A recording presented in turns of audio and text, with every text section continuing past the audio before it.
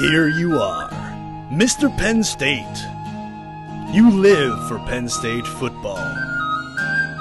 You wish you were a player, but you are 37 and a very bad athlete, and you are weak. But you grew a mustache because these guys did. Nice.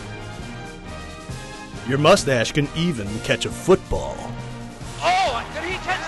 Josh Hull went from walk on to the NFL. How do you think that happened? You love Penn State football, but you miss it in the summertime.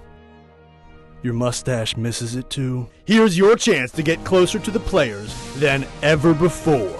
It is Penn State's Lift for Life. The players need you on Friday, July 8th at Holuba Hall. You need Lift for Life like an upper lip needs a mustache.